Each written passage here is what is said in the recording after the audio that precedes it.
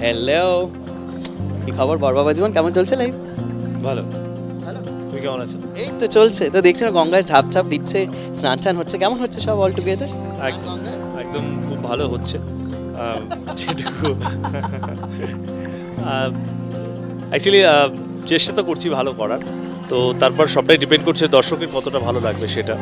তো আমি শুধু নয় প্রত্যেকটা অ্যাক্টর অ্যাক্ট্রেস মানে আমাদের তোমার খোলা হাওয়ায় প্রত্যেকে চেষ্টা করছে হান্ড্রেড পার্সেন্ট দেওয়ার এবং শুধু অ্যাক্টর অ্যাক্ট্রেস নয় ডিরেক্টোরিয়াল টিম টেকনিশিয়ানস ক্যামেরা থেকে শুরু করে লাইটস সব কিছু সবাই মানে সবার প্রত্যেকে যেন মনে হচ্ছে যে সেই আবির রায়ের নিয়ম না ভাঙ না ভেঙে চলার মতো আবির রায়ের নিয়মেই চলার মতো করে চলছে সবাই। আচ্ছা শুভঙ্কর এখানে আমরা দেখছিলাম যেখানে প্রচণ্ড সিরিয়াস সিরিয়াস একজন মানুষ যে ভীষণ কম হাসে। আর তার মধ্যে বাচ্চা একটা বউ আর তার সঙ্গে তার এত বড় বড় ছেলে মেয়ে। তো সেক্ষেত্রে তারা কীরকম ভাবে দেখছ ক্যারেক্টারটা ভীষণ অন্যরকম কারণ টেলিভিশন এরকম এক্সপেক্টেডই নয় এই সেঞ্চুরিতে দাঁড়িয়ে। তো একদমই তাই দর্শকেরও অনেক কোয়ারিজ রয়েছে। যে কেন তার বয়সী বা তার থেকে একটু কম, দু চার বছরের ছোট বড় ছেলেমেয়েরা তাকে বাবা বলে ডাকছে?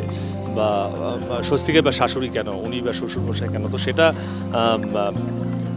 প্রত্যেকেরই দেখার যেমন কৌতূহল রয়েছে, আমি বলব সেই কৌতূহলটা রাখুন। গল্পটাতে টুইস্ট তো অনেক আছে পাস্ট রয়েছে গল্পের অনেক, সেগুলো সবই গল্পের মাধ্যমে বলা হবে প্রত্যেক দিন, প্রত্যেকটা এপিসোডে তো প্রত্যেকেই ভালো করার চেষ্টা করছে গল্পটাকে ফুটিয়ে তোলার। তো সত্যি কথা এটা বলব, বাংলা বেঙ্গলি টেলিভিশনে এটা বোধহয় ফার্স্ট টাইম এই ধরনের সিরিয়াল আসছে। আর যেটাতে আমাকে সিলেকশন করা হয়েছে আবির রায়ের চরিত্রে, যেটাতে আমি সত্যি জি বাংলার কাছে কৃতজ্ঞ। জি বাংলার কাছে ছ বছর, জি বাংলায় মানে ছ বছর পর কামব্যাক তুমি রবে নীরবে জড়োয়া যোগ্য তারপর তোমার খোলা হাওয়া। তো মাঝখানে আমি সিরিয়ালস করেছি অনেক, কিন্তু অন্যান্য চ্যানেলে তো সেই জায়গা থেকে জি বাংলার প্রত্যেকটা মানে প্রত্যেকজন যারা আমার মাথার উপরে বসে আছেন, গুরুজন, তাদেরকে আমার কাছ থেকে আমার কাছ থেকে অনেক ধন্যবাদ।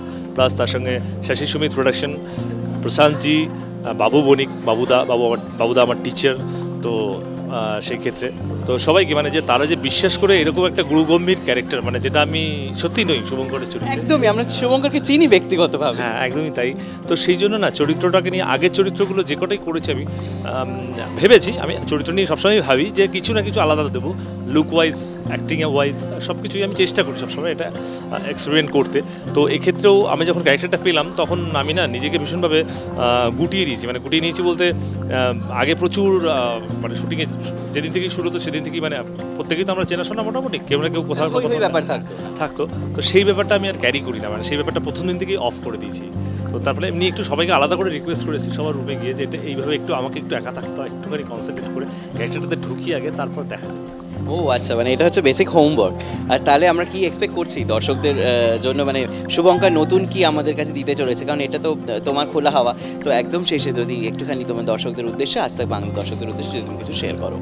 দর্শকদেরকে এটাই বলব যে, আপনাদের মনে যে কৌতূহলগুলো রয়েছে, যে কেন বাবা বলা হচ্ছে বা কেন এতগুলো ছেলে মেয়ে বা নানা রকম কোয়ারিজ আপনাদের রয়েছে মেয়েটি নিয়ম ভাঙছে, ছেলেটির নিয়ম এত কিছু শাস্তি দেবে, এই নানা রকম বিষয় যেটা, সেগুলো কেন? সবটার জন্য আপনাদেরকে দেখতে হবে। তোমার খোলা হাওয়া সোম সোম থেকে শুক্র টুয়েলভ ডিসেম্বর প্রত্যেক দিন সাড়ে নটায় জি বাংলার পর বেশ, সাড়ে নটাতে কিন্তু দেখা হচ্ছে। ঠিক আছে তোমার সাথে? চলো, ফাটিয়ে কাজ হোক, খুব খুব সাকসেস পাক তোমার এই নতুন শো এরকম ধরনের কন্টেন্টের জন্য চোখ রাখতে হবে আজ তাক বাংলায়। ক্যামেরাম্যান প্রশ্নের সাথে অরুণাভ আজ তাক বাংলা।